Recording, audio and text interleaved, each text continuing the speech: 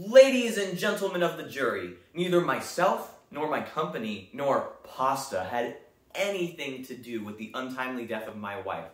I beg for this case to be dismissed before my company suffers further.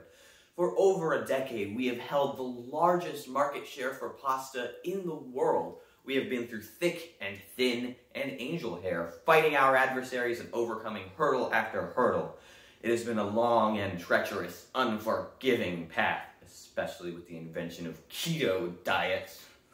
But we have made it, and we stand here today in defiance of the odds, in unity. And it is of my utmost pleasure to announce that today, we are becoming more than pasta manufacturers. We are pasta pioneers. You are all familiar with ravioli. We have been bred and raised on the stuff, the epitome of pasta.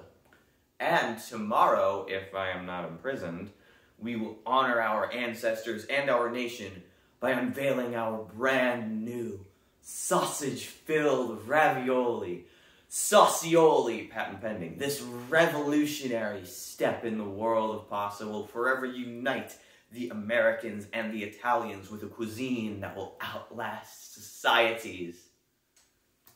I rest my case.